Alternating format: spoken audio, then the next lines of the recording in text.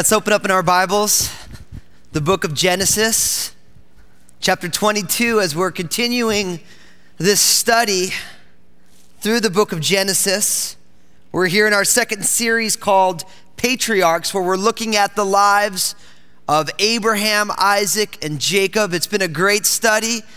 I've been talking to folks, they've been showing me how their, uh, their journals and notebooks are getting filled up with notes which is exciting. As always, there's going to be a number that's going to be popping up on the screen. You can text in your questions. I'm going to be able to take your questions at the end of the service. And so it's a great opportunity. I realize I'm not going to be able to explain everything um, in the way that everyone wants it explained, or you have other questions. And so it's a great opportunity to text in your questions. And of course, if you don't have a phone that texts, you can just ask your neighbor if you can borrow theirs. And most often, they'll just oblige you kindly. So, Genesis chapter 22, this is one of the most confusing and challenging and simultaneously the most exciting chapters in the book of Genesis. It leaves us bewildered until we realize what God is up to. Last week we saw the fulfillment of the promise that God would give Abraham and his wife Sarah an offspring. Remember, they got that promise. It took a really long time. When Abraham was 100 and Sarah was 90, then they have a little son named Isaac. Isaac means laughter. He's the son of promise. He's the one that God had promised. And everything that we had seen in the life of Abraham really was spring training for the birth of his son. The walk of faith, Abraham, the great patriarch of faith. God had given a promise. Years were going by. God's timing wasn't Abraham's timing. There was all sorts of issues as they traveled around and Abraham was concerned about how beautiful his wife was as he went to different places. They even tried to help God out by giving Abraham Hagar, Sarah's handmaiden. And they had a child named Ishmael. But yet God promised and God intended to fulfill his promise. And in chapter 21, we saw the birth of Isaac. Now, as we move into chapter 22 of the book of Genesis, things get really weird because look at what happens in verse 22. Now it came to pass after these things that God tested Abraham and said to him, Abraham, and he said, Here I am. Then he said, Take now your son, your only son, Isaac, whom you love, and go to the land of Moriah and offer him there as a burnt offering on one of the mountains of which I shall tell you. And we all say a collective, huh? I mean, think about this. God had promised Abraham a son, and now God calls out to Abraham. Now, this chapter is one of the most well known chapters uh, in Hebrew, they call it the Akedah, which literally means the binding. And I have a, a, rabbinic commentary on the book of Genesis that's two volumes, it's about 1,200 pages. And this chapter, next to the very first chapter of creation, is the largest portion of the commentary. And the rabbis make such a strong case that, hey, this is so meaningful to Judaism and what's amazing is, is that as we're going to study this, we're going to realize that the rabbis don't even know the half of it. Because they don't realize that this is something greater than Abraham and Isaac. This is about another father choosing to offer an even more important son. In the Hall of Faith, Hebrews chapter 11, Abraham shows up multiple times, but listen to what it says in Hebrews chapter 11, verse 17. It says, By faith, Abraham, when he was tested, offered up Isaac. And he who had received the promise offered up his only begotten son, of whom it was said, In Isaac your seed shall be called, concluding that God was able to raise him up, even from the dead, from which he also received him in a figurative sense. Wow. This time of testing for Abraham confirms his place as one of the patriarchs of faith. Now, I love this. It says here that God tested Abraham. Now, our faith is not really tested until God asks us to bear what seems to be unbearable, do what seems to be unreasonable, and expect what seems impossible. This wasn't a test to produce faith, this was a test to reveal faith. Now, if you come to church, if you spend any time, any time studying the scriptures, going to church, talking with Christians, we talk a lot about faith, don't we? Faith is a very common discussion, but you've heard me say it a lot, and I'll say it a lot over the next bunch of years as long as God gives me here. The reality is simply that the problem with walking by faith is what? You got to walk by faith. We, as a culture in the West, we love to walk by sight.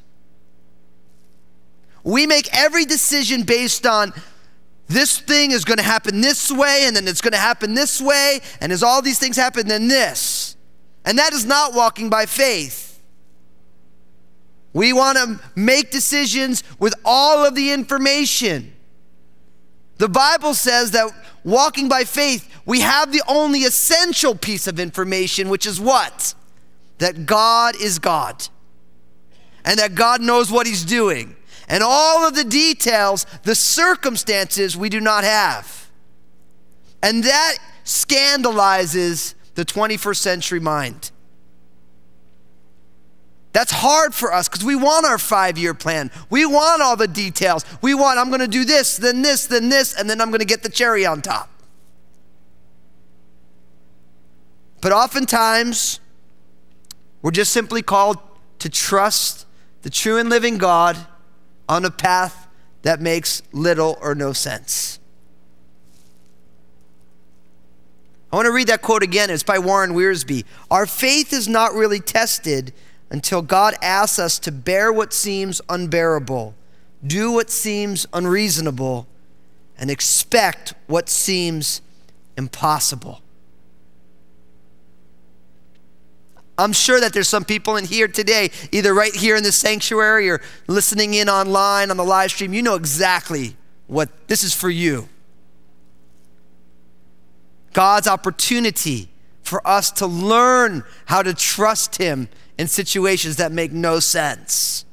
People always say, oh, well, you know, the Bible teaches that God will not give me more than I can handle. And it's always a rude awakening when I say, the Bible doesn't teach that. The Bible doesn't teach that God will never give you more than you can handle. The Bible teaches that God will never give you more than He can handle, and we need to learn that He can handle it. And our ability to handle any circumstance is the reality that I'm not called to handle it. I'm called to cast my cares upon Him who cares for me, and He handles it, and because He's got it, I'm all good. I can take it easy in the Lord because He's got it. I don't have to get it. He's got it. But it's time for Abraham's faith to be revealed. God's not trying to produce faith in him, He wants to bring to blossom the faith that is already in Abraham. I love it. God said to Abraham, Abraham, and he said, Here I am. And I sure pray that, like Abraham, each one of us are available to hear God's voice. For a lot of us, it's not now, Lord. I got a plan. I got a, I got a full calendar, God. That simplicity that says, Yes, Lord. Here I am, Lord. And I'll be honest with you, as a brother in Christ, this is hard. It's hard in my highly scheduled world and there's a million things going on. It's hard to simply remain in a heart space where God can say, Daniel, and I say, Here I am, Lord.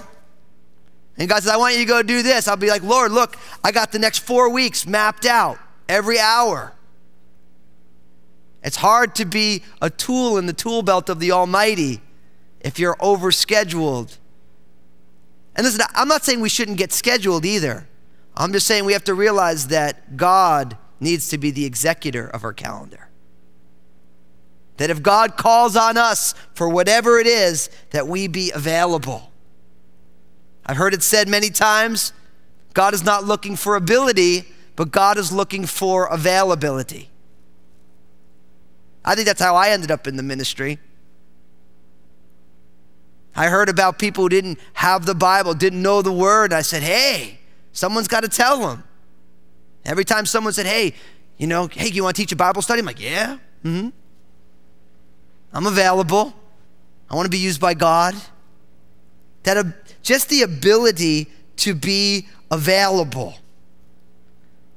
But for Abraham, Abraham doesn't get the tap on the shoulder for the big leagues. He doesn't get, hey, Abraham, I want you to have a, a $20 million or 20 million shekel estate that I want you to play with. I want you to build a mansion. No, verse 2 Take now your son, your only son, Isaac, whom you love, and go to the land of Moriah and offer him there as a burnt offering on one of the mountains of which I shall tell you. This is absolutely horrific. God asked Abraham for the most valuable commodity in Abraham's world. Notice what he says. And, and you feel the tension. Take now your son, your only son, Isaac, whom you love. I want you to take your son, your only son, Isaac, whom you love. And I want you to go and offer him as a burnt offering. You see, I, not, I, don't, I was trying, honestly. I, I was sitting back there before I came out. I'm like, Lord, let me build this thing up. But you, this is not about Abraham and Isaac at all. It is, but this is meant, this whole scene is meant to be a picture of a greater father than Abraham with a greater son than Isaac. This is all about God sacrificing his only son, the son whom he loves, Jesus of Nazareth. We're going to see that God is not going to let Abraham sacrifice Isaac because Isaac isn't a worthy offering, but God will sacrifice Jesus because Jesus is the better son than Isaac, the more perfect sacrifice. And that's why this is happening, because God wants a testimony for future generations that when they see Jesus of Nazareth sacrificed on one of the mountains right in the area of Moriah where they ended up building the temple, one of those mountains outside, everyone say, wait a second, I heard about this before. I heard about this. We saw this in the life of Abraham. So God is asking Abraham to do what only his heart is willing to do God's heart. Because God will sacrifice his own son. Now, look at what happens in verse 3. So Abraham rose early in the morning and saddled his donkey and took two of his young men with him and Isaac his son and he split the wood for the burnt offering and arose and went to the place where God had told him. And on the third day, Abraham lifted up his eyes and saw the place afar off. Here's Abraham again, without any delay, early in the morning. I've been, I've been kind of camping out on this with Abraham, haven't I? Every time I see it, right, I make a point obedience without delay, without dilly dallying, without questioning. He, God says, I want you to do this. And Abraham's up early the next morning, ready to serve the Lord. It's interesting. All this, he's up early, he saddles his donkey, he brings two of his servants with him, two young men, Isaac his son, and he splits the wood for the burnt offering. I like this. Abraham is making preparations to worship the Lord. See, we live in a culture that loves spontaneity as a sentiment. Like, most of us don't really live very spontaneously, do we? But we just think that spontaneity is really like a cool thing. But we spend most of our lives planning everything, right? But when it comes to the things of the Spirit, we almost spend no time planning. We think that if it's spiritual, it needs to be spontaneous. But the reality is, is that for all of us, we need to make preparations in worship. It's interesting that in the church in, in, in Corinth, when they got together for their agape feast and their services on the Lord's Day on Sunday, Paul says, How is it that every one of you comes with a psalm, a hymn, and all these things? See, the people were seeking God all week for revelation to bring to the fellowship of believers. And I like that because they were preparing themselves. They were like, Lord, I want to worship you. When was the last time you prepared to show up at church and worship God?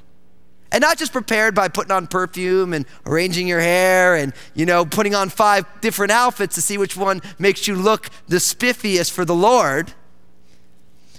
But when was the last time you really said, God, when I get into the sanctuary with the people of God, I want my heart to already be open to you. And God, I want to show up before you with my brothers and sisters already overflowing with who you are. We prepare for everything except for the things that matters most, which is the things of God. I, I love this because Abraham's up and he's he's thinking ahead. He's like, okay, it's a burnt offering. I need some help. I need my donkey ready. I need some wood. I'm not going to just hope that wood shows up there. I'm going to bring it with me. He made preparations to worship the Lord. And he goes. Notice this. Then on the third day, Abraham lifted up his eyes and saw the place afar off. This is fascinating, isn't it? Why three days? It was as if in Abraham's mind, Isaac had already been dead for three days. Could you, could you imagine being Abraham? You've waited all this time, and Isaac is there.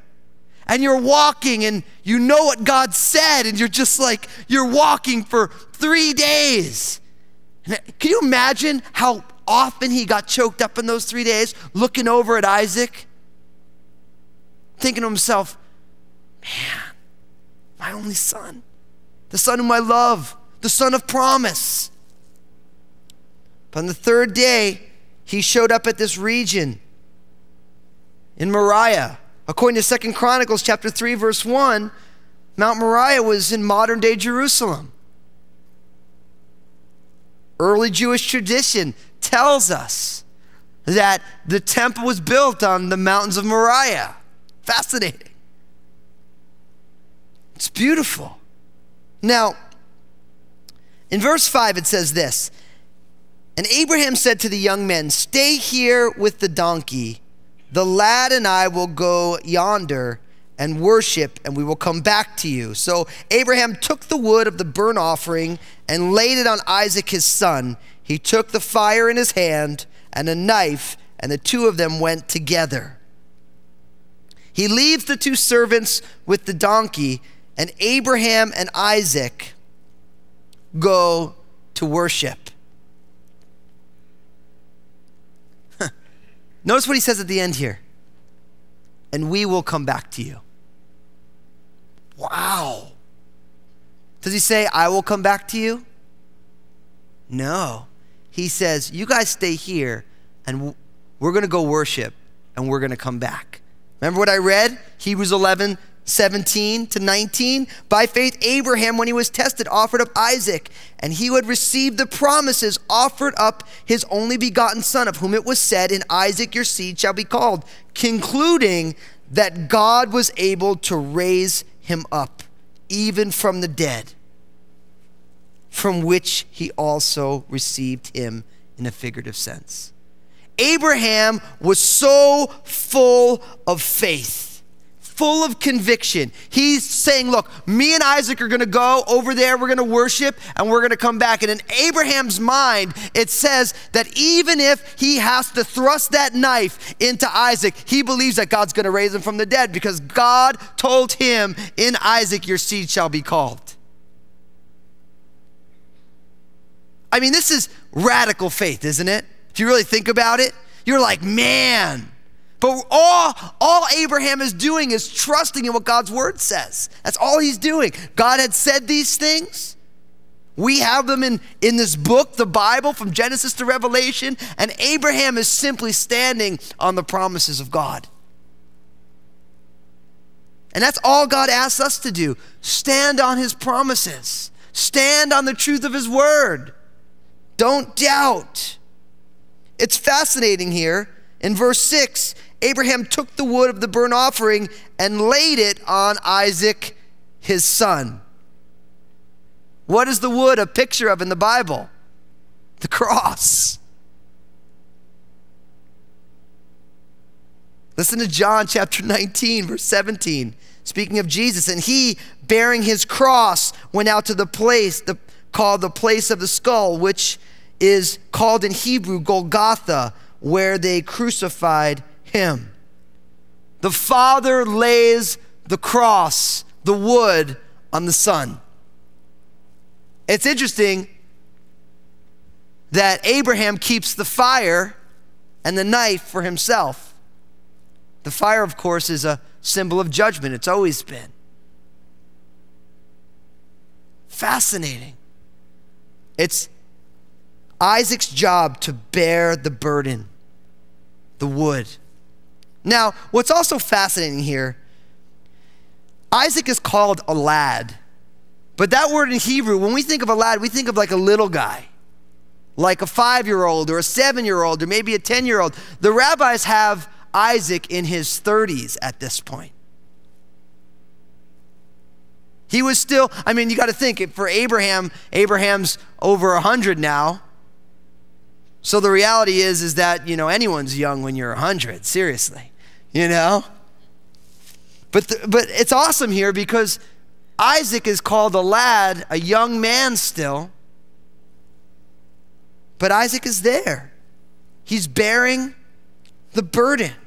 Now, in verse 7, it says this But Isaac spoke to Abraham, his father, and said, My father. And he said, Here I am, my son.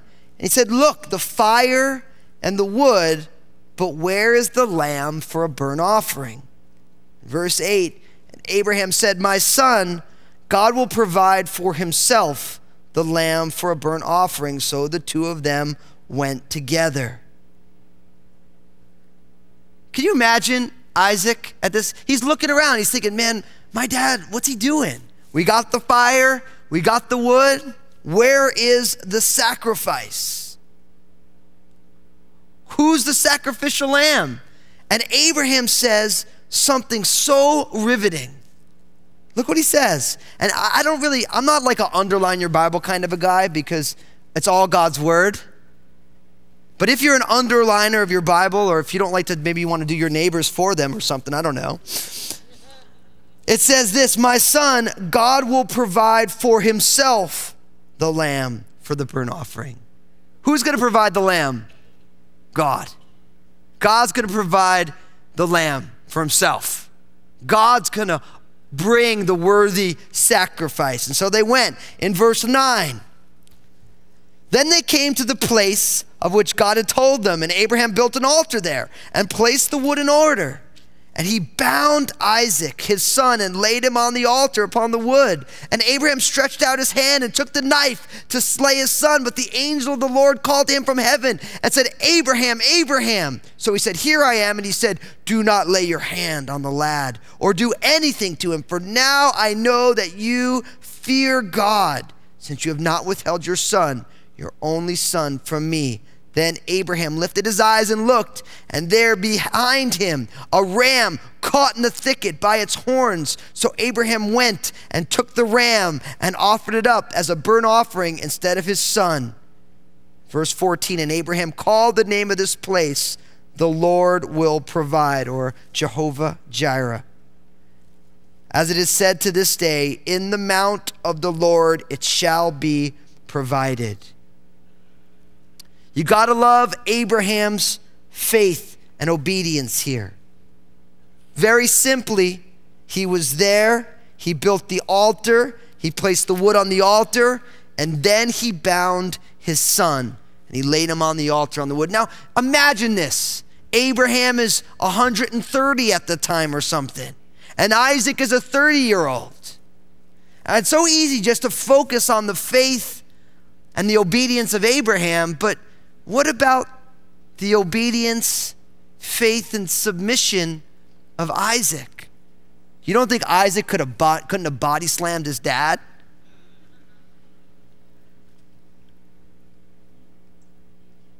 Why was Isaac so compliant? Of course, because this is the perfect picture of Jesus. She said, No one takes my life from me. I give it up of my own free will. See, Isaac was equally faithful to God. He trusted that his father knew best.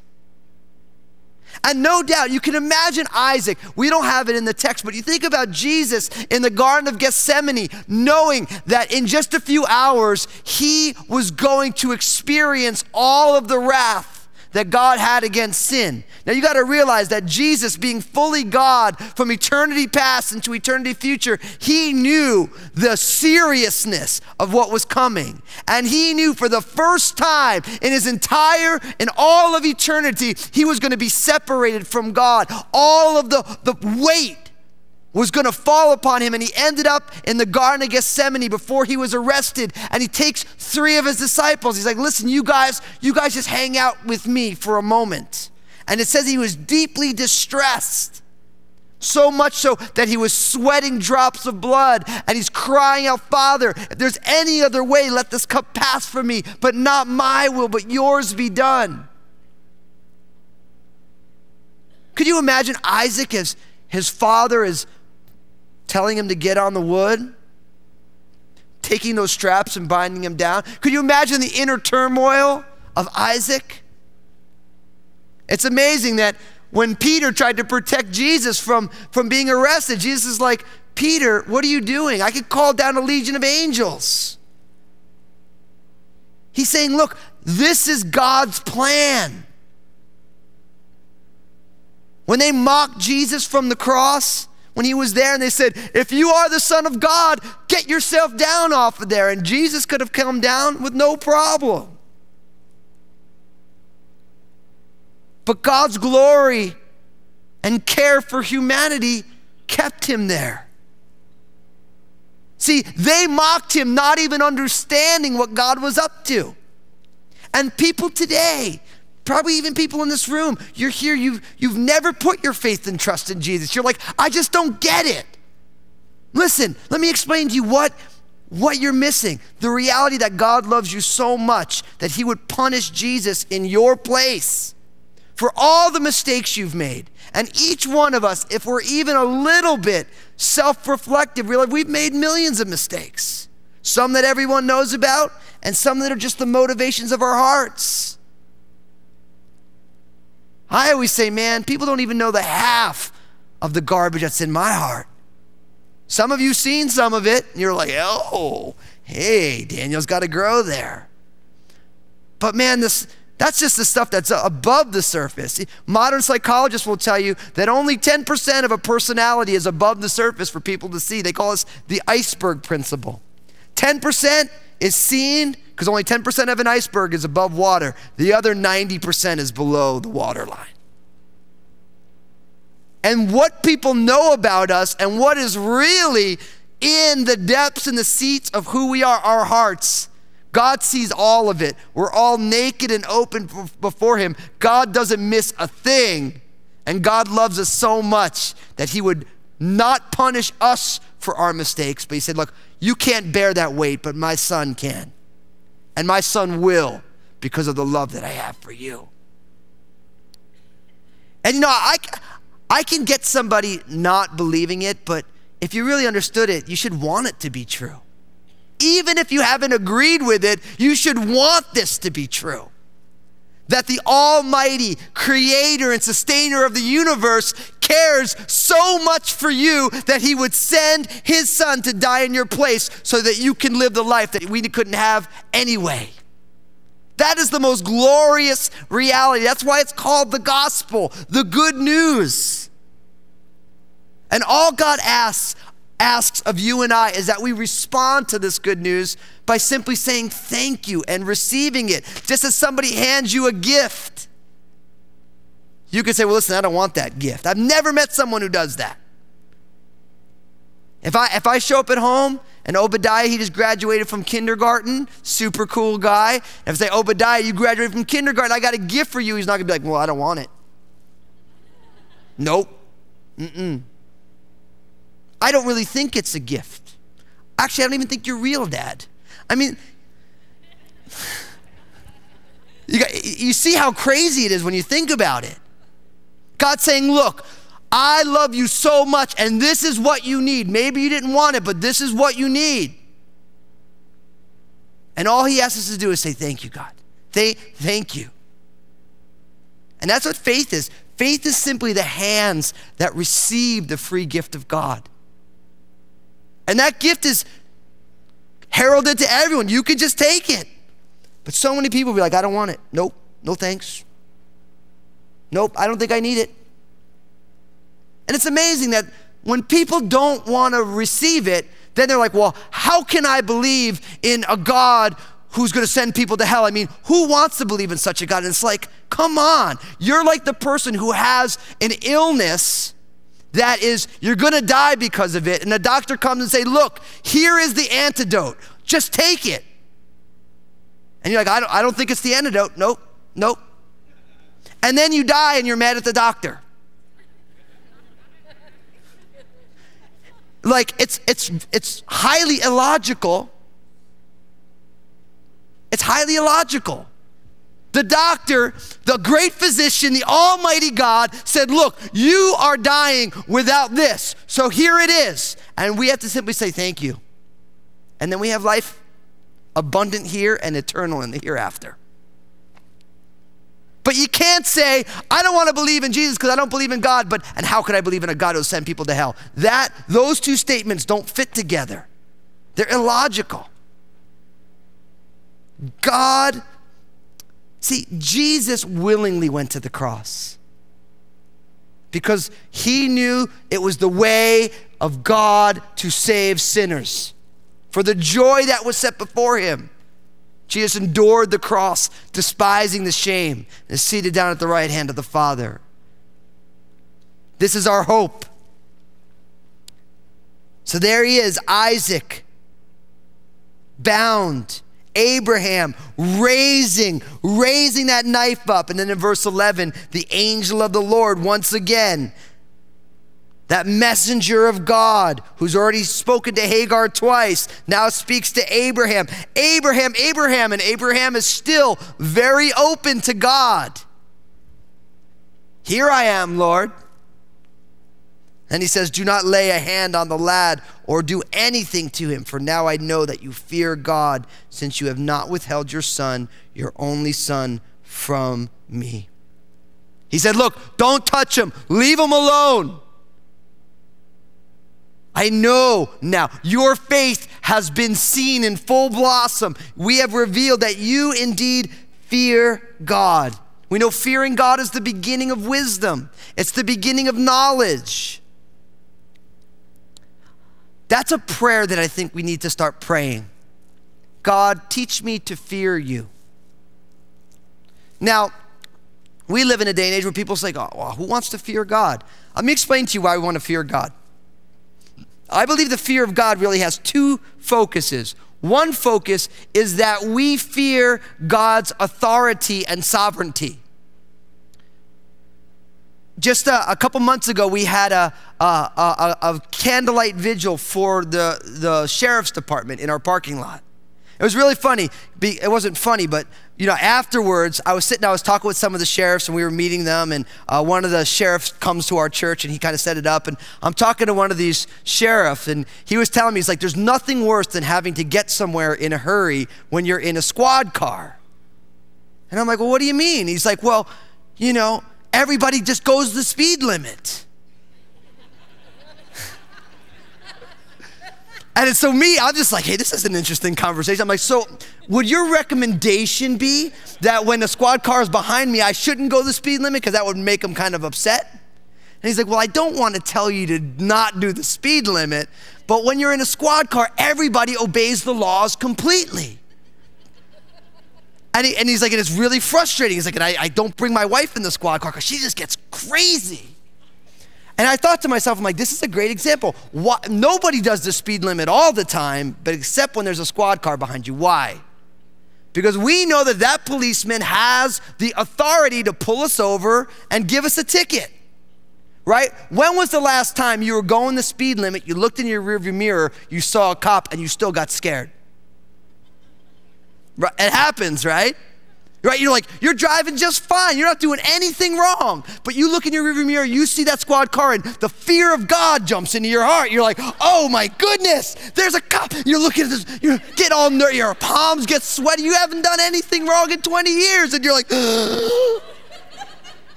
you guys know what I'm talking about, right? Why? Because you see that squad car, and he, that police officer, has the authority to just give you a ticket.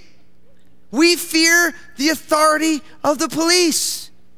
How much more so should we fear the one who can't doesn't only give us a ticket, but consented us to an eternal damnation? There is a very healthy fear. I love my kids, but when my son's doing something wrong and I give him the look, he stops cold.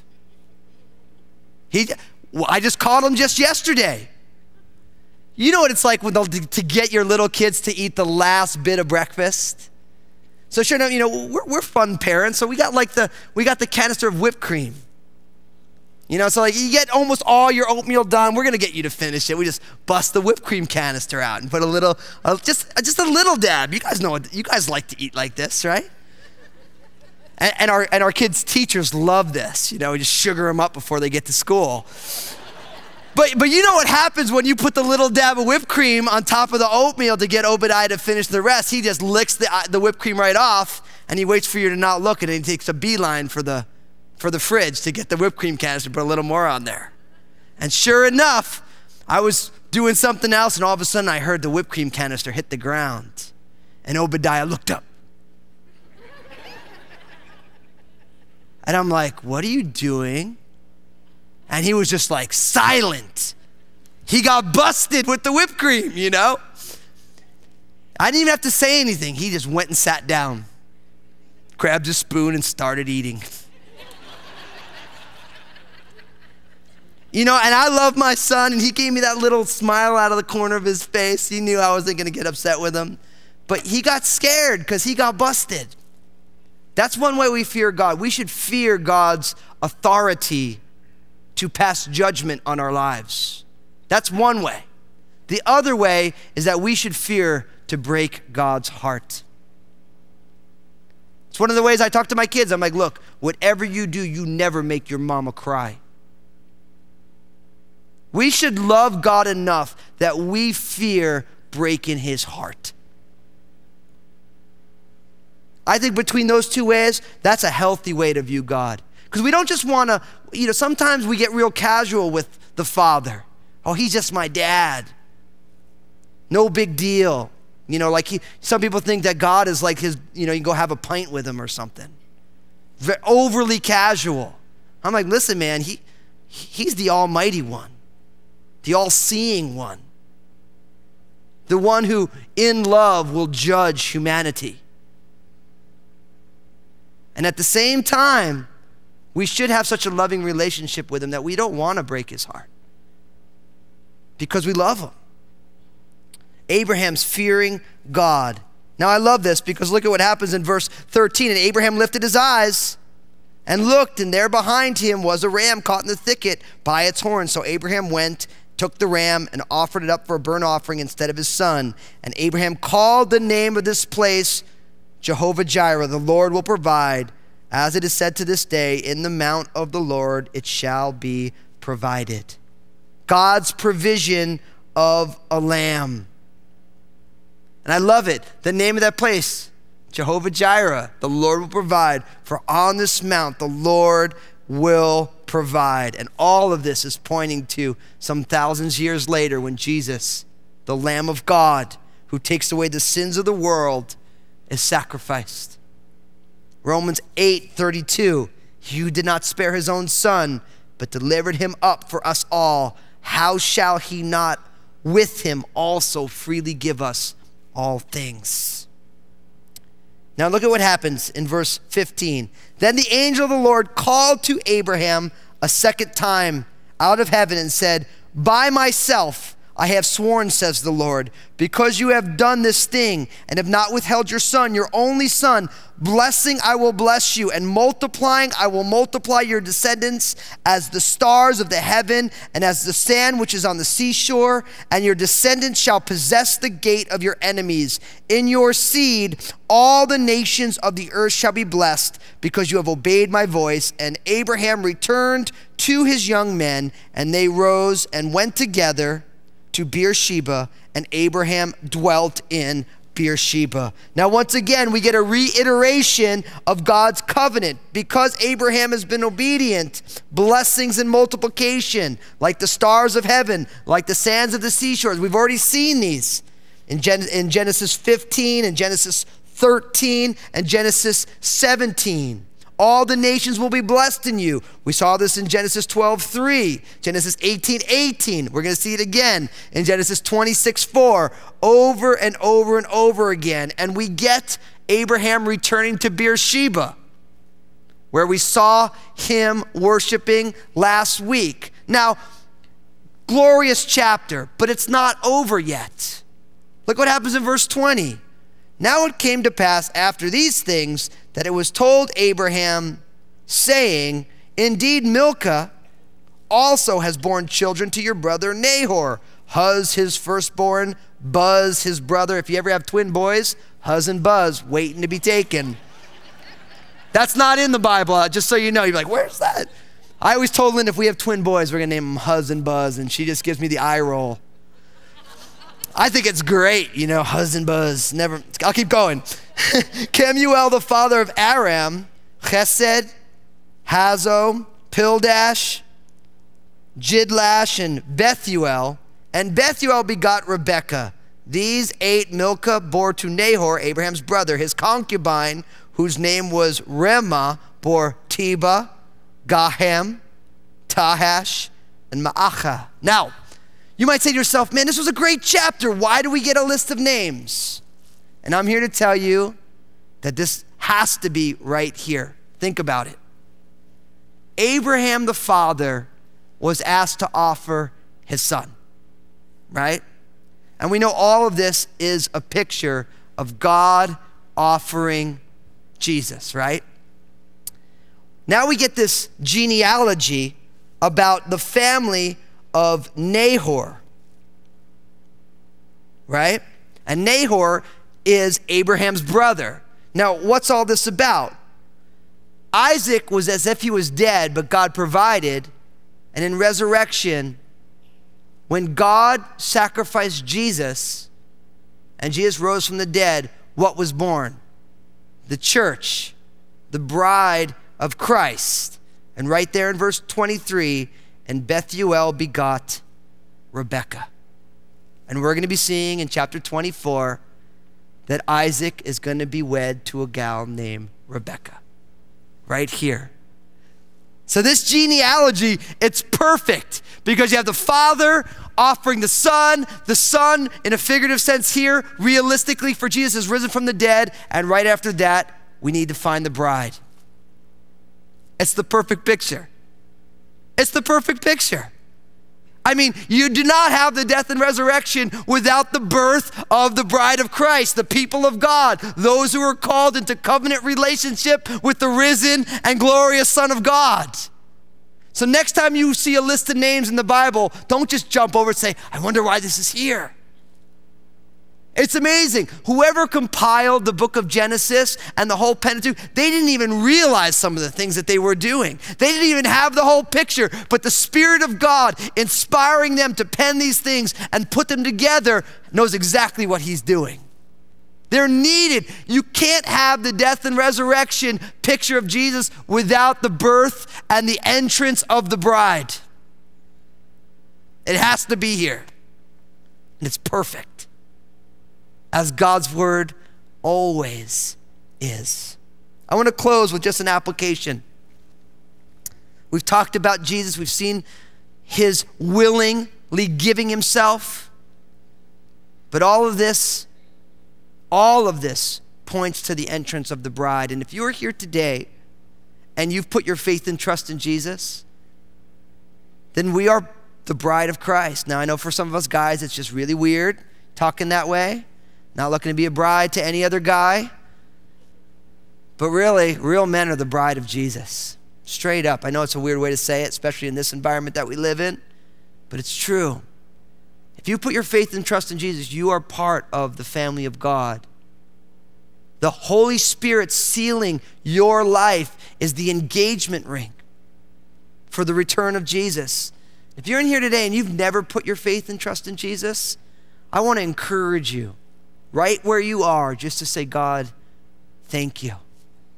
I receive. I receive this gift. I don't even understand it, but I just say, thank you, God. Let's bow our hearts and pray. Father, we thank you so much for your word. We thank you for the testimony, the faith of Abraham. We thank you for the faith of Isaac, his son, who went willingly. Lord, we thank you